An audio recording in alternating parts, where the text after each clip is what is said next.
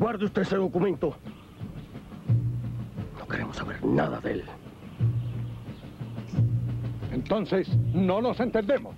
No nos entendemos. No.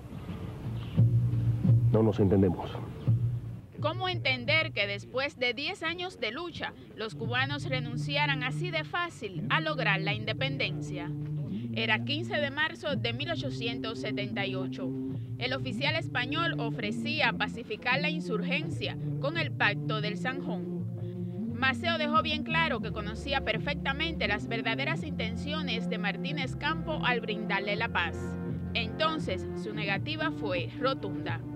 Aquel gesto recogió el coraje, decoro y fidelidad a la patria de los patricios de la época y permanece vigente en tiempos en que los cubanos mantenemos el compromiso con nuestra libertad. Hoy, como aquel día, reafirmamos, el 23 se rompe el coro. Celia María Reyes Casate, en directo.